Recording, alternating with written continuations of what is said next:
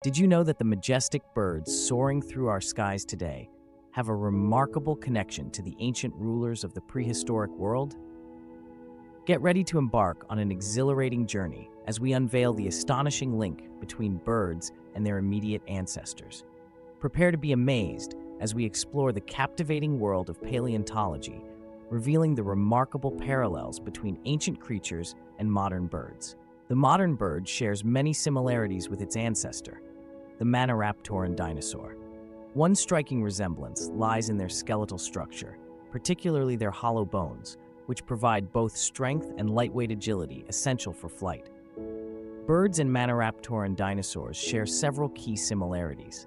They both possess a wishbone crucial for wing movement, feathers evolved for insulation and later adapted for flight, unique eggshell types and nesting behaviors, and exhibit intelligence and complex social behaviors